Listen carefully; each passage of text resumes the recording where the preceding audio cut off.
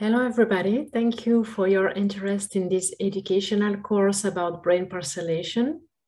So brain parcellation is a very wide field.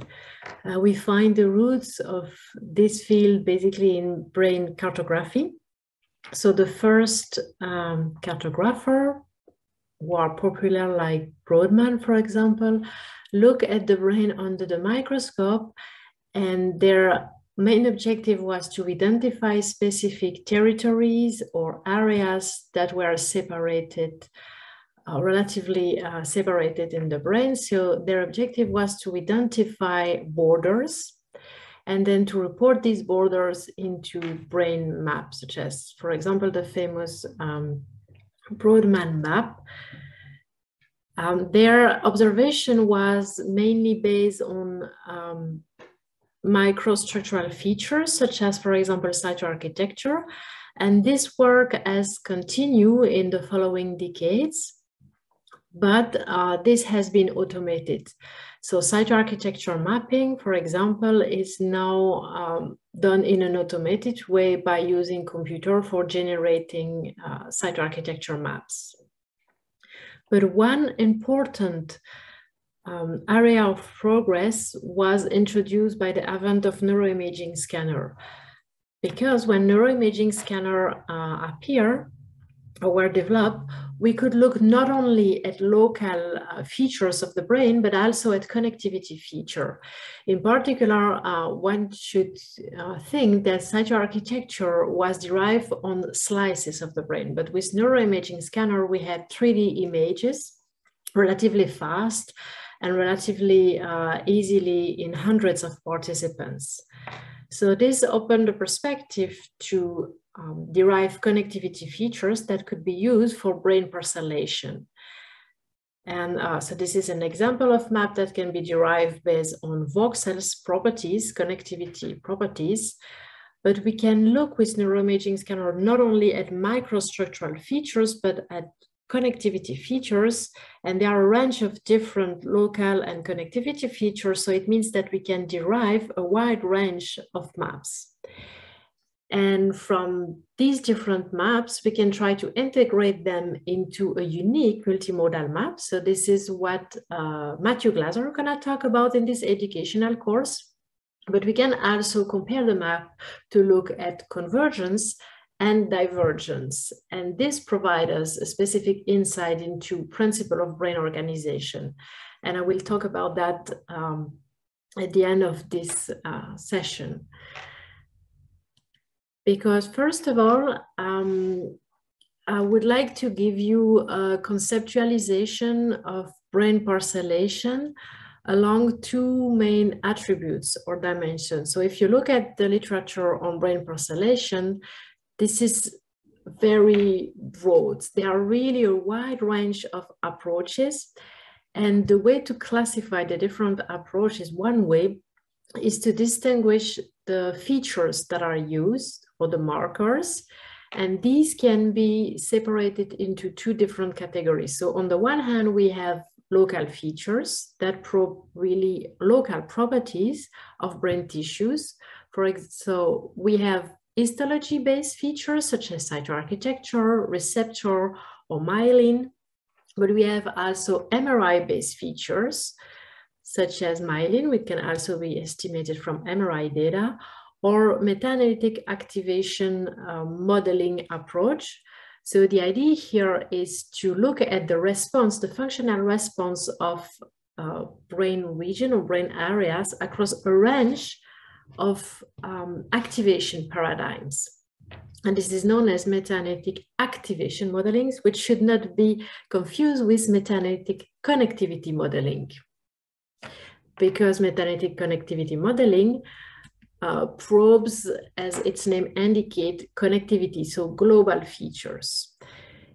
In MRI-based global features, we have resting state functional connectivity, meta-analytic connectivity modeling, as I said, but also diffusion tractography and uh, other approaches such as structural covariance.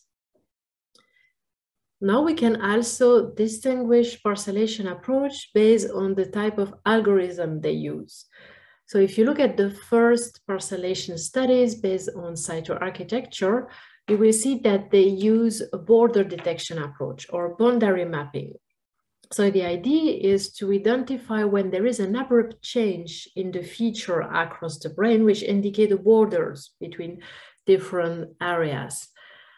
So this is what we um, see in histology-based work, uh, as I say, but the other approach is a clustering or a factorization approach. So in this approach, we look globally at the data and we decompose into different cluster of factors that represent, that are assumed to represent different networks or brain regions or brain areas. Um, an example of um, the application of boundary mapping to local features, so to histology-based feature is the JuBrain. Um, Svenja Caspers gonna talk more about that in this educational uh, course. But boundary mapping approach can also be applied to connectivity features. So for example, one of the first parcellation uh, study based on resting state functional connectivity use a boundary mapping approach. And uh, we have the same idea for clustering of factorization. It can be applied to local features, such as, for example, uh, activation modeling, but it is more generally applied to uh, connectivity features. So for example, the famous uh, Yeo Atlas has been derived based on a clustering factorization approach applied to resting state functional connectivity. An example of resting state functional connectivity parcellation using such decomposition approach will be provided by, or more information will be provided by uh, Ruby Kong in this educational course. But for now, I would like to focus a bit more on connectivity-based parcellation, because if you look at the literature on brain parcellation, this represents a very large portion of the literature. And the idea is relatively simple. So if you have connectivity features from neuroimaging data, whatever type of connectivity, if you are interested in a specific region in the brain, so for example, here the hippocampus, we look at the voxel within this region. And if we take two different voxels and we look across the brain um, into their connectivity profile, so their functional connectivity profile, we can see that these different voxels differ in their connectivity profile across the brain. Then if we do that for all voxel within the hippocampus, we can cluster them according to their connectivity profile. So for example, here we can distinguish anterior and posterior region of the hippocampus. Now there are a range of connectivity features that can be used for brain parcellation. The most popular is um, functional connectivity derived from resting state data. But functional connectivity can also be derived based on the meta-analytic approach, which give us co-activation information about the voxel across a range of activation studies. So this is typically done across thousands of activation studies that are stored in, uh, whose results are stored in databases such as BrainMap and Neurosynth. So these are two um, connectivity features that probe functional connectivity, but we can also use structural connectivity based on uh, diffusion MRI. Let me put this here. Um, so one famous approach, for example, is probabilistic uh, diffusion tractography, which has been used in many studies for uh, understanding brain organization based on a parcellation approach, more specifically, generally a clustering approach.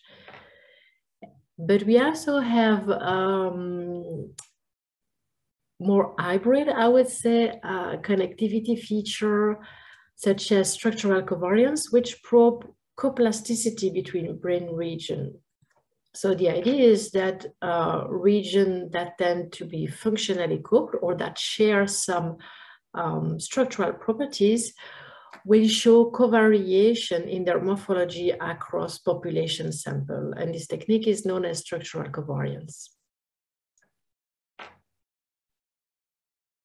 So now if we go more into, uh, slightly more into technical detail, how would connectivity-based parcellation work if we have a region such as the dorsal premotor cortex that I pick up here, we first have to derive the connectivity uh, profile of all voxel within this region that are typically called seed voxel so we derive their connectivity profile with all of the voxel in the gray matters, and we store this information in a connectivity matrix.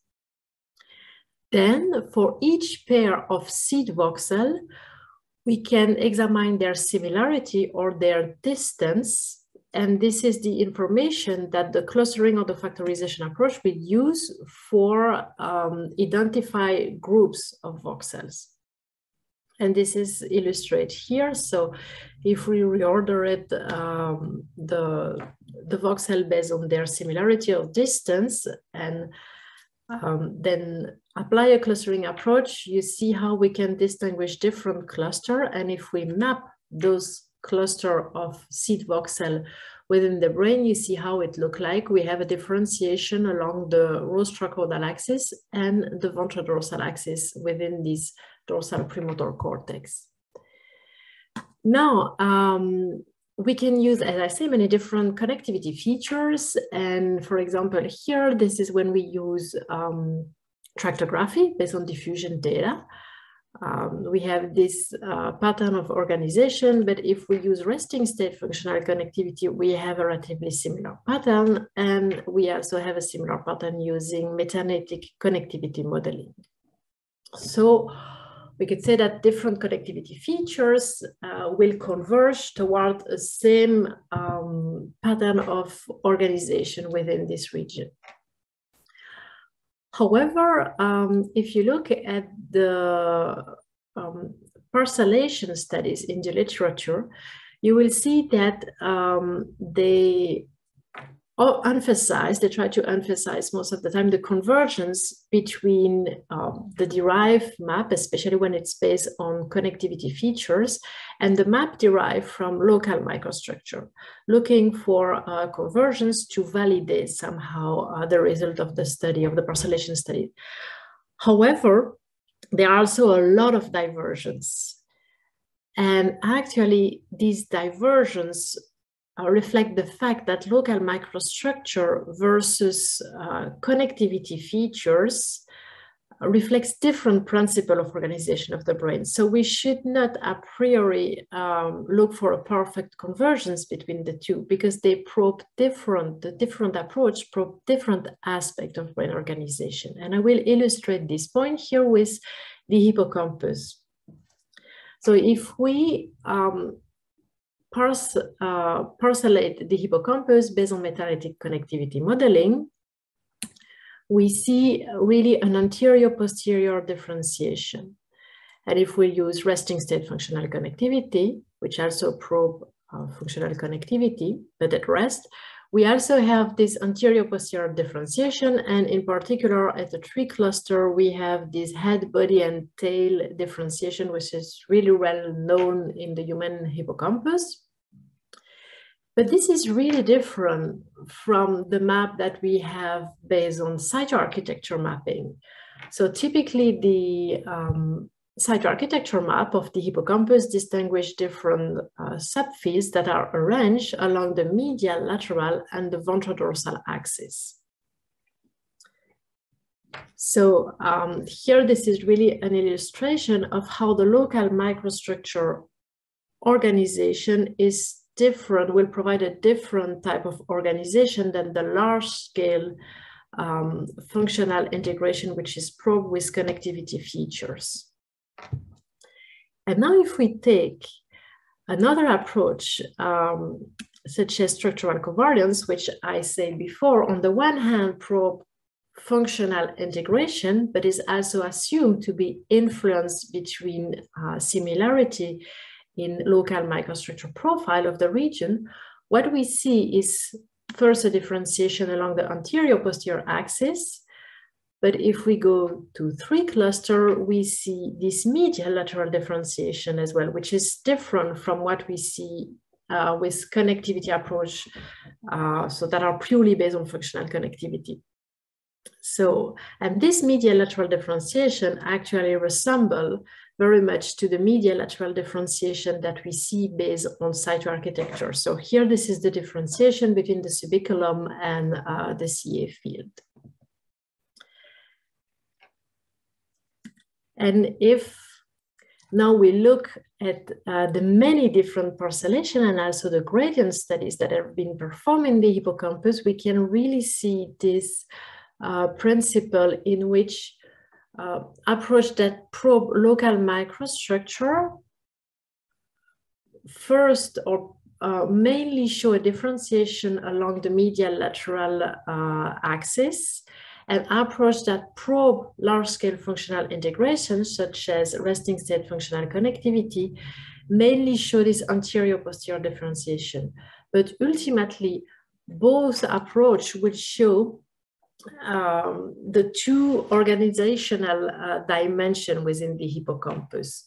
So if we, um, for example, look at um, structural covariance, we have uh, this, as I say, anterior posterior differentiation, but we also have this medial lateral differentiation. But now if we look at approach that probes specifically uh, local microstructure, we mainly have this uh, medial lateral differentiation within the hippocampus. And if we look at gradient approach, we first see this, uh, so this is really visible with gradient approach. We have this first dimension in functional connectivity, which is anterior posterior. And then the second dimension is medial, is more arranged along the medial lateral axis. So this explains how we can have many different maps for a given brain region based on the different um, approach or features that we use now if I still have um, a bit of time, I would like to uh, let you know about this tool if you want to perform connectivity-based parcellation yourself. So this is uh, a tool which is completely in open access that we have implemented uh, in Python. And uh, this work with different connectivity modality. You can choose between different uh, pre-processing for the region, the, the mask that you use, so the seed voxel mask. So it works only for regional connectivity-based parcellation, not for whole brain parcellation. Um, you can you you can uh, choose between different uh, connectivity uh, pre-processing processing of the connectivity features. Um, so this is relatively flexible. You can also introduce your own uh, implementation in the pipeline. Um, we have the you will have the result of the clustering, including a range of validity uh, metrics that will help you to identify the optimal parcellation from a data structure point of view. And you have uh, relatively extended reports.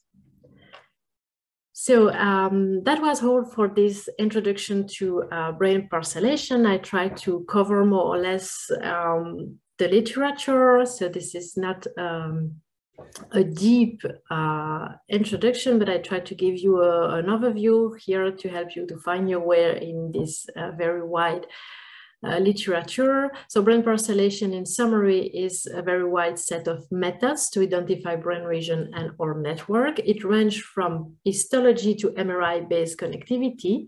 It is used to understand and to represent brain organization and data, so to derive maps that you can then use for compressing your data. Uh, there are conversions, but also importantly, divergence between mapping features. And I hope from this talk you have uh, understood the neurobiological relevance of these diversions. And uh, if you look for a, a resource for CBP, uh, I can recommend CBP tool as a user-friendly and flexible pipeline for connectivity-based parcellation. And this is freely available on GitHub. Thank you very much for uh, your attention and I hope that you will really enjoy this educational course about brain parcellation. Thank you.